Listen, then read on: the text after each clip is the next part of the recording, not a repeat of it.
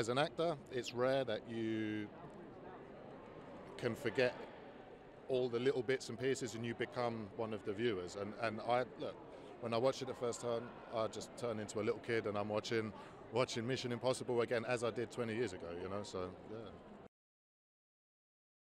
It's, it's incredibly intense. I mean, a film this budget, you know, sure you have a, a slight luxury of time to work with, you know, you can work stuff out, you have a bit of creative maneuverability, so to speak, but um, yeah, no, you, you turn up, it's game time, you know, you, you, you're on your toes.